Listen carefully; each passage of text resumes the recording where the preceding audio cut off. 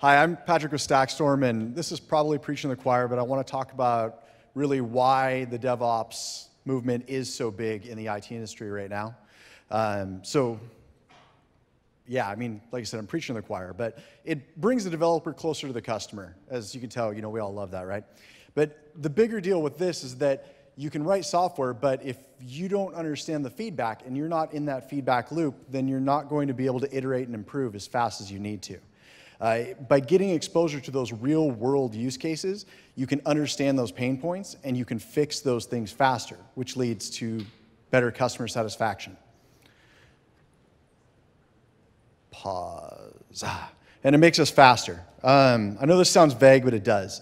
You know, we break down those silos between the groups, and it allows us really to interoperate faster and move faster, faster release cycles, uh, faster bug fixes, faster remediation times.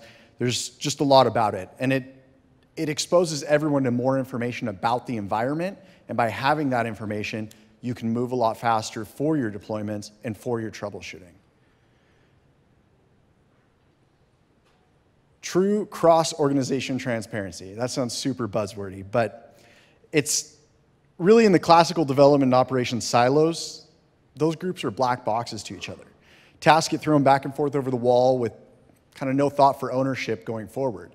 With the transparency into the processes and everything between groups, it really allows us to kind of iterate across that and improve that. We can we have better visibility into our different environments, and we can make sure that test and development are matching uh, what we have in production.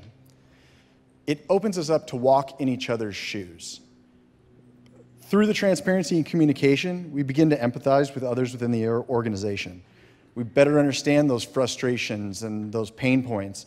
Uh, and through understanding those pain points, we can start adapting our processes and we can start changing things in order to eliminate those pain points and help streamline everything all along the way. And when we streamline it, it forces us to evaluate or reevaluate those processes that we originally wrote.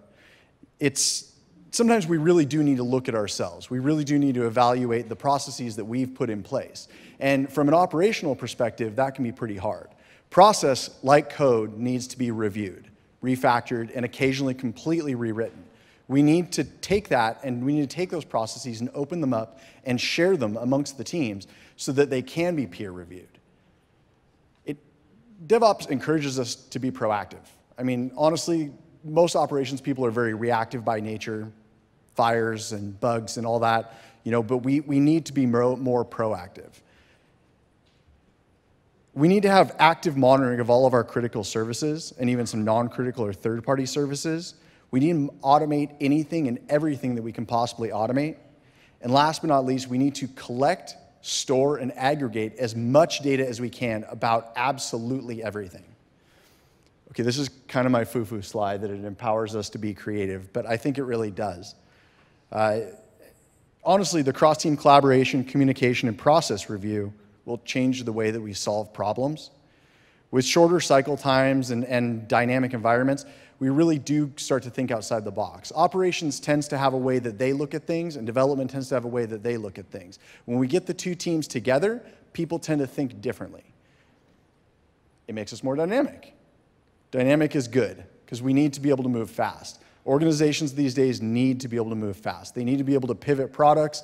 They need to be able to respond to customer needs. They need to be able to respond to fires or anything else as fast as they possibly can. Markets change. Everything changes. We need to be able to move fast. Let's be DevOps ninja kitties, as I put it there.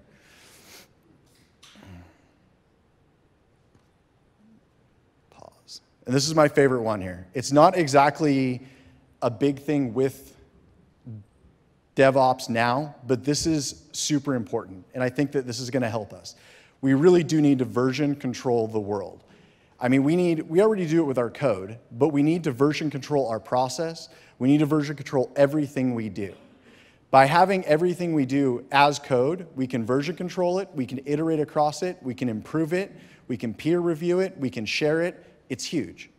Anyway, thank you very much, and please hit me up on Twitter.